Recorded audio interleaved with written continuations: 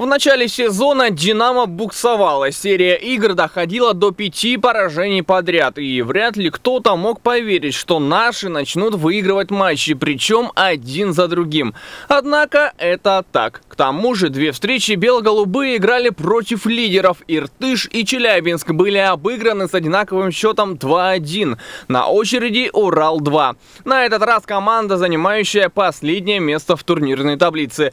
Поэтому в счете «Динамовцы» Немцы повели закономерно. Подача Бакая. Удар поворотом Егора Никифоренко!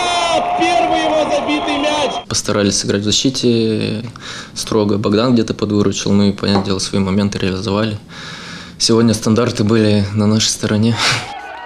Это правда. Два забитых гола динамовцев и все со стандартов. Первый с углового, второй с подачи штрафного. Напомним, что не так давно бело-голубых возглавил новый тренер.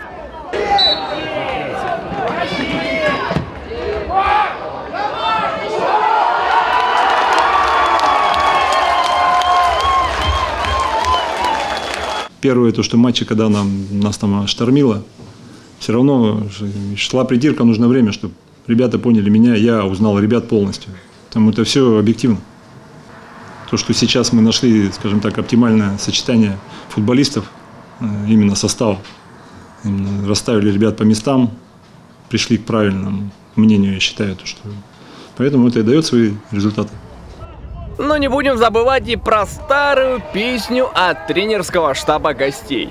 Объективно нет э, не готовы на таком поле еще конкурировать именно даже там с Барнаулом, потому что немножко другой футбол. Все равно мы там больше времени проводим на таких полях хорошего качества, даже искусственный, но хорошего качества, поэтому это совершенно другой футбол.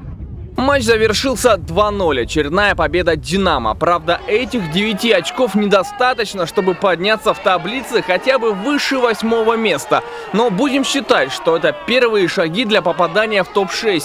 Игрой с Уралом хозяева завершили серию домашних игр в первом круге. Осталось еще три поединка и на новогоднюю паузу. Сейчас наши парни тренируются. А 29 октября отправятся в гости к Тюмени, команде, занимающей первое место в таблице.